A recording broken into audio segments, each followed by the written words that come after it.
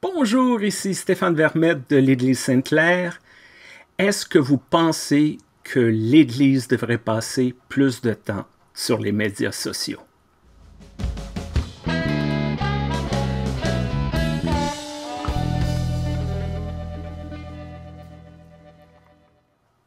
Avant d'aller plus loin que vous regardez sur YouTube, sur Facebook, ben, n'oubliez pas de cliquer, d'aimer, de partager, de vous abonner plus particulièrement à notre infolette qui envoie qu'un seul courriel par semaine avec mes capsules et d'autres informations qui pourraient être intéressantes pour vous.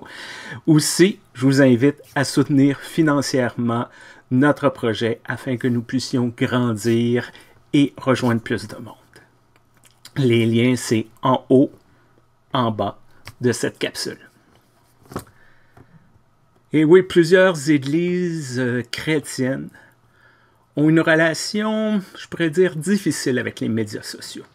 Oui, euh, presque la majorité ont une page Facebook, une chaîne YouTube, peut-être un compte Twitter, peut-être.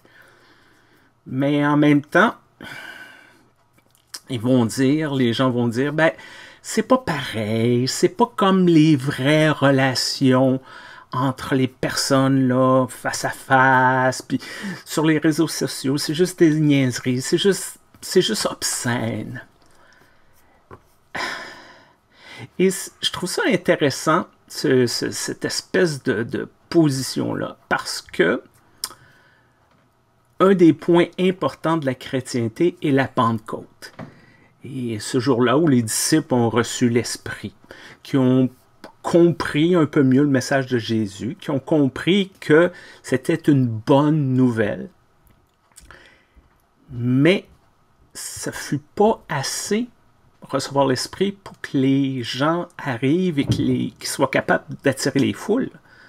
Les disciples ont dû sortir dehors, dans un endroit qui était peut-être un peu moins confortable, où les gens pouvaient leur crier des noms, les insulter, euh, un espace où ils étaient vulnérables, euh, qui allaient se faire critiquer s'ils faisaient des erreurs.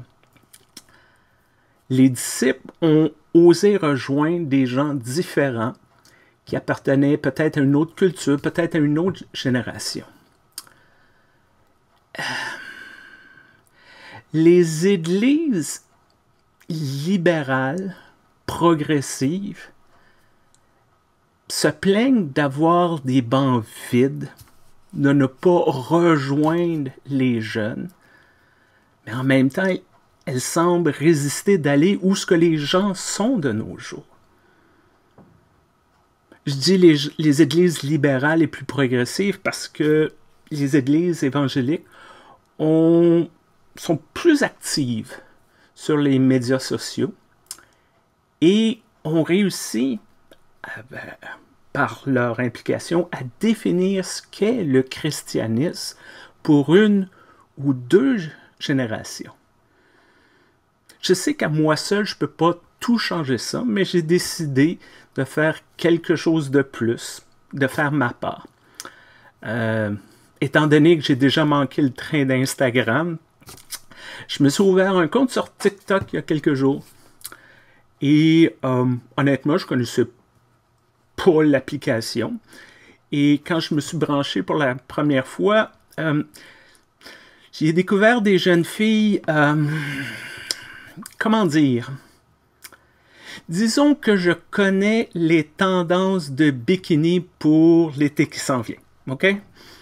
Les tout petits bikinis.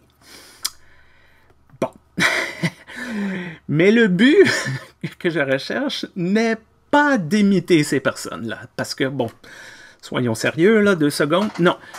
Je veux juste essayer de propager ce que j'appelle le résumé de mes messages en moins de 60 secondes. Je voudrais montrer à certaines personnes que je ne rejoins pas normalement qu'il est possible de croire en Dieu sans condamner les personnes, sans les rejeter, sans envoyer tout le monde en enfer. C'est possible de suivre Jésus et d'être inclusif de toutes et de toutes, sans exception. Est-ce que cette initiative-là va amener plus de gens à nos services religieux? Probablement pas. Je me fais pas d'illusions. Mais je pense que ça rejoint une des invitations qu'on a reçues, nous, chrétiens, les gens qui croient en Dieu, c'est de partager le message, notre message, de partager cette bonne nouvelle pour le monde avec des gens qui sont curieux et curieuses.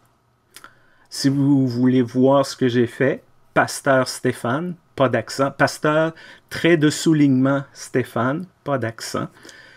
Je viens de débuter. C'est un peu coussi coussa, mais je vais essayer de m'améliorer avec le temps. De plus, ben, continuez à faire attention à vous. Continuez d'être curieux et d'être curieuse. Continuez à être une présence positive dans le monde. Faites attention à vous. On se revoit très bientôt. Bye bye.